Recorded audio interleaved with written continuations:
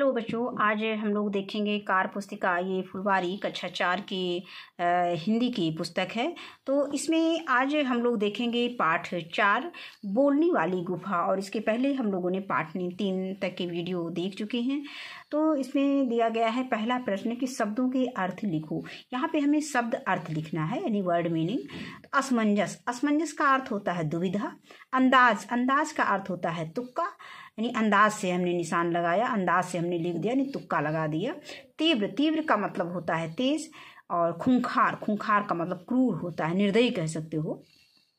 इसके बाद आता है समानार्थी शब्द लिखना, जिसके समान अर्थ हों, जैसे मुँह मुँह, चेहरा, मुख, सूरत, ये हो गया। और इसके बाद है तो जिनके समान अर्थ है, जैसे मुँह।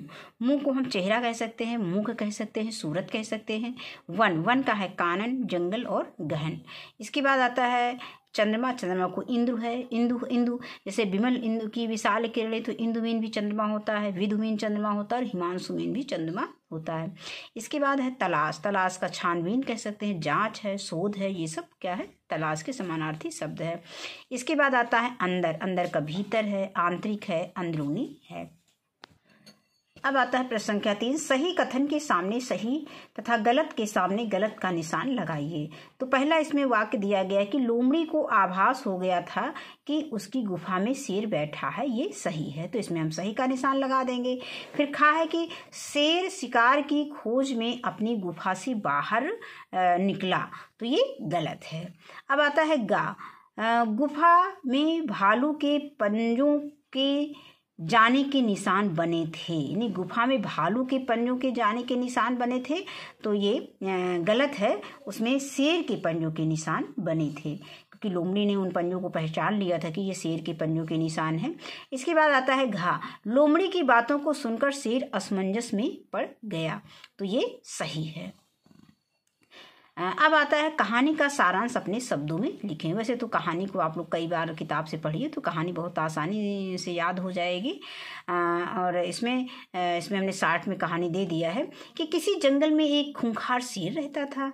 एक दिन शेर भोजन की तलाश में वह लोमड़ी की गुफा के पास पहुँचा। यानी एक दिन भोजन की तलाश में शेर जो है लोमड़ी की गुफा के पास पहुँच गया।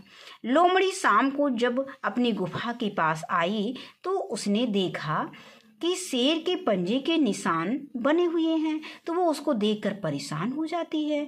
क्या शेर गुफा के अंदर है? इस बात का पता लगाने के लिए वह गुफा से बात करती है। शेर लोमड़ी की चालाकी को जान जाता, को जान नहीं पाता है। वह लोमड़ी द्वारा पूछे गए प्रश्नों का उत्तर दे देता है, यानी दे देती है यहाँ पे दे देता है होना चाहिए। और लोमड़ी सच्चाई जानकर वहाँ से भाग जाती है। यानी उसको पता था कि कहीं गुफा जो है भोलेगा नहीं, जहाँ वो लोमड़ी रहती थी।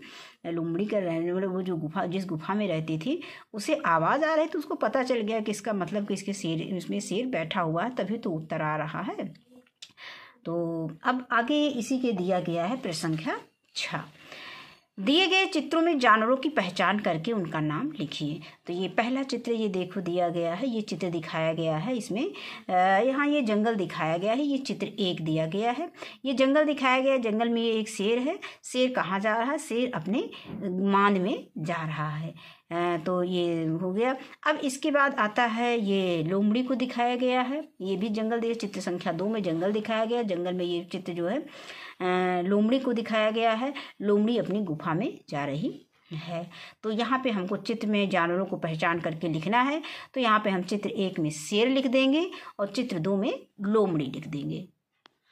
अब आगे आता है कि नीचे दिए गए शब्दों में से सही शब्द को रेखांकित कर बॉक्स में लिखिए। तो ये चिन्ह हो गया और इसके बाद है ये दहाड़ सही है और इसके बाद ये रहस्य सही है और ये असमंजस सही है। तो इन शब्दों को हम छांट करके जो सही हैं, उसको हम इसमें लिख देंगे। अब आगे आता है अगला प्रश्न संख्या सात कि पाठ में दी गई कहानी को पढ़कर प्रश्नों के उत्तर दें। तो इसमें कहानी को हमें पहले पढ़ना है, पाठ की कहानी को पढ़ेंगे तो हमें इन प्रश्नों के उत्तर पता चल जाएगा। तो जंगल के सभी जानवर किससे डरते थे? तो जंगल के सभी जानवर शेर से डरते थे। या हम लिख सकते हैं कि जंगल के सभी जानवर खूंखार शेर से डरते थे। इसके बाद अगला प्रश्न आता है कि किस जानवर को अन्य जानवरों की अपेक्षा तीव्र बुद्धि का माना जाता है? तो लोमड़ी को अन्य जानवरों की अपेक्षा तीव्र बुद्धि का माना जाता है। जैसा कि कहानी में शेर की चालाकी को भी वो समझ गई थी। लोमड़ी इतनी चालाक होती कि वो शेर की चालाकी को भी समझ गई थी और गुफा के अंदर नहीं गई, बल्कि वो जंगल की तरफ़ भाग गई। अब इसके बाद आता है कि अपने घर के बड़ों से कोई कहानी सुनकर लिखें। तो अपने बड़ों से जैसे हम लोगों ने कछुआ और खरगोश की कहानी सुना है, वैसे तो अपने बड़े दादा दादी लोग बहुत अच्छी अच्छी कहानियाँ सुनाते हैं तो हम उनसे ज़रूर सुने ये कहानी। और अगर नहीं तो हम कछुआ और खरगोश की कहानी सुन सकते हैं। तो बस यहीं पर पाठ ये ख़त्म होता है, और आज के वीडियो में बस इतना ही। वीडियो देखने के लिए बहुत बहुत धन्यवाद।